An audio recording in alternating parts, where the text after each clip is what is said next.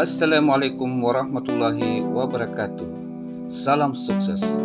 Bersama saya Salman dengan teman-teman saya Armi Parara dan Rahmayati dalam pembelajaran nilai-nilai dan perang guru penggerak CGP Angkatan 5 Kabupaten Enrekang.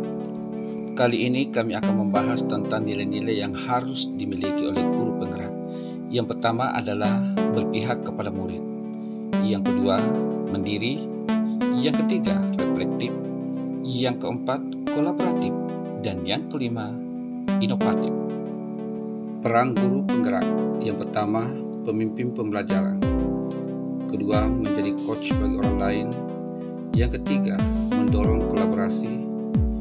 Yang keempat, mewujudkan kepemimpinan murid. Dan terakhir, menggerakkan komunitas praktisi. Berdasarkan hasil diskusi tentang nilai-nilai dan perang guru penggerak yang muncul pada diri kami masing-masing, yang pertama, nilai mandiri dengan peran mewujudkan kepemimpinan murid.